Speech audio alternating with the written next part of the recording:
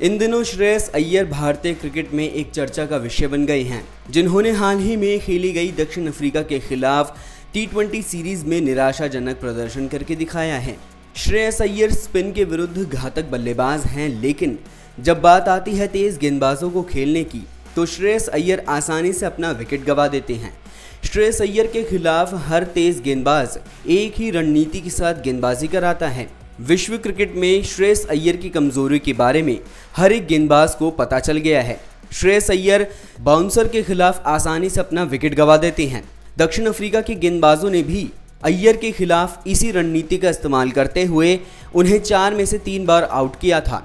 आपको बता दें कि ओवरसीज में श्रेयस अय्यर का रिकॉर्ड काफ़ी निराशाजनक रहा है। उन्होंने स्पिन के विरुद्ध ही ज़्यादा रन बनाए हैं। वहीं ओवरसीज में उनके बल्ले से कई दौरों पर रन नहीं निकले हैं। अब ऐसे में टी विश्व कप के लिए श्रेयस अय्यर का नाम प्लेइंग इलेवन से बाहर दिखाया जा रहा है। इस साल का टी विश्व कप ऑस्ट्रेलिया में खेला जाना है, जहाँ पर बाउंसी पिच होंगी। बाउंसर पर श्रेयस अय्यर जिस तरह से विकेट गवा रही हैं, उनके लिए प्लेइंग इलेवन में जगह नहीं बन पाती है। अब इसी मुद्दे पर बात करते हुए भारतीय क्रिकेट के दिग्गज बल्लेबाज मदन लाल ने श्रेयस अय्यर को एक सलाह दी है।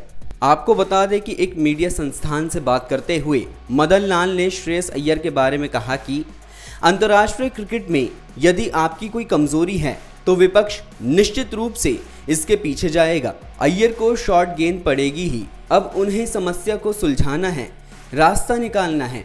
भले ही वो सौ रन बना ले, विपक्षी ताली ताली बजाएँगे, लेकिन वो आपको नहीं बख्शेंगे। यहाँ कोई दया नहीं है।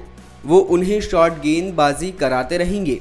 जिस तरह की तकनीक मौजूद है, उसके साथ कोई भी टीम विपक्ष पर कड़ी नज़र रखती है। 27 वर्षीय बल्लेबाज श्रेयस अय्यर को हाल ही में उनके प्रदर्शन के चलते काफ़ी आलोचनाओं का सामना करना पड़ा है। उन्हें लगातार इसी बात को लेकर ट्रोल किया जा रहा है कि वो सिर्फ़ स्पिन को ही अच्छा खेल पाते हैं और मीडियम पेसर के आते ही श्रेयस अय्यर का बल्ला खामोश हो जाता है।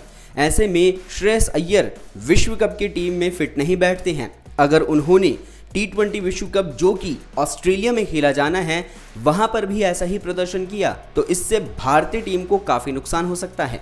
इस खबर में फ़िलहाल इतना ही, बाकी की तमाम खबरों के लिए आप बने रहिए वन इंडिया के साथ।